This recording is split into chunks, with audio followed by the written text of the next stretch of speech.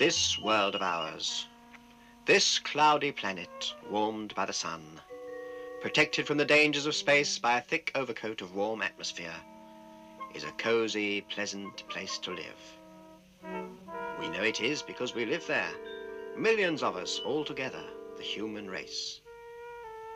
But if, in our imaginations, we turn away from the Earth and think about other planets, other less fortunate stars, we realize that life there might be very different, very bleak and dull.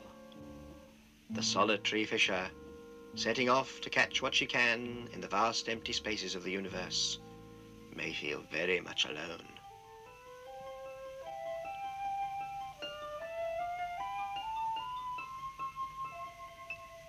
And there is Tiny Clanger, fishing from the music boat. There's something coming.